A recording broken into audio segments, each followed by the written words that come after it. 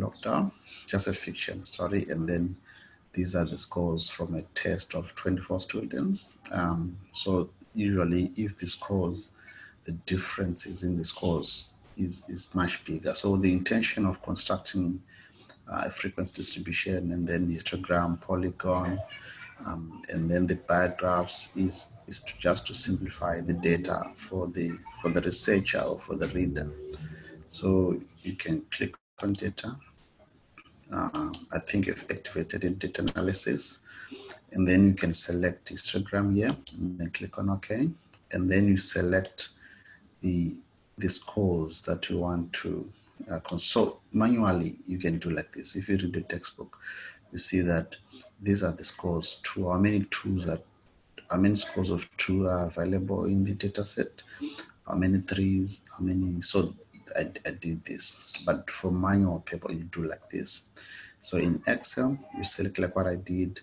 For now, let's let's leave this like this, and then the output range, you can click here and, and select any space here. So our histogram is going to be there. So you must select the chart output and click on OK. So this histogram, but you can see that it, it's, it's rounding off to I, I don't know why it does that, but we can adjust it to make it a three according to and a four and a five. You see that Excel also provide this more. We don't want this. We don't want this more here. We don't want it actually. And then you can even delete this row even. Uh, you can delete this row so that it doesn't confuse you. You can even delete this frequency so you can let, let us move it a little bit here, this table. Let me make it a little bit bigger. So you can label according to, like, let's say preparedness. Uh, sorry. Pre, let's, let's leave it like that, just for the sake of time. Uh, three, how many threes are there? Seven. I made a mistake here. We have seven. How many fours are there? We have three. How many fives are there? We have five. Okay, this is the correct table. So you can see we have gaps this on the histogram. So you click, uh, you, you, you click on any bar and then you format the cells. And then you see you can drag it backwards to zero. So it, it becomes a histogram.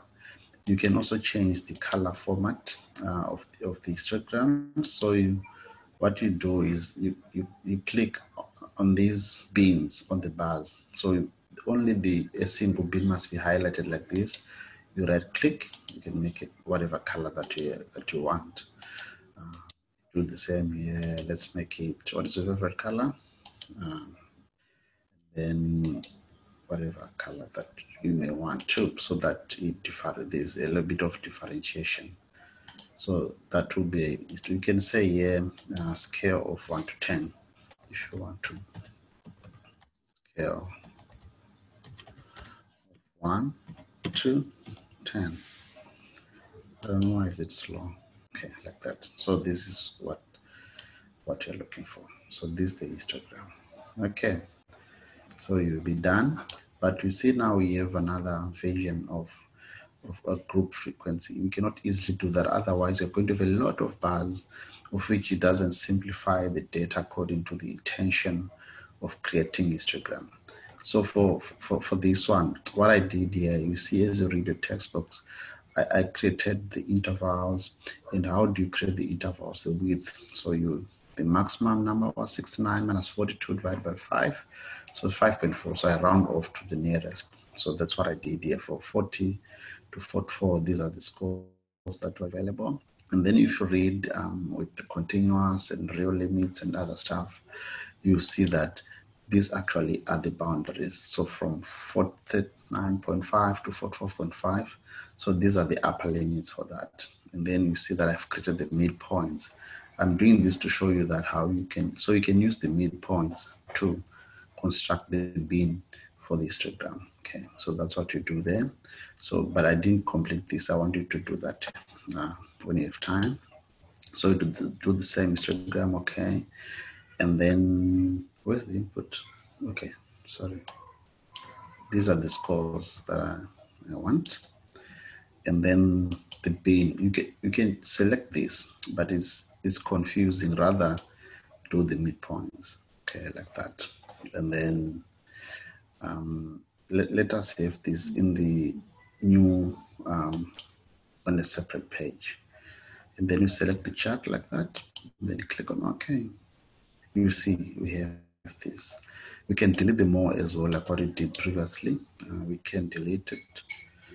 Where is delete? Okay, yeah. Uh, delete the the row. Okay. You see, we do. Let's let us make it a little bit bigger, uh, like this. We do the same. Right click, format data. We format the data, and we make it like this and then you can do like what I showed you earlier. You can you can you can you can now change the the colors like what you what you've done here, something like that. So you can proceed. You can even delete this. Uh, it doesn't make sense. Uh, okay, like that. So that's that, that's what you do. I think it, it, it makes sense to you. And then for a bar graph, you can maybe select in terms of, so you can insert, insert the table.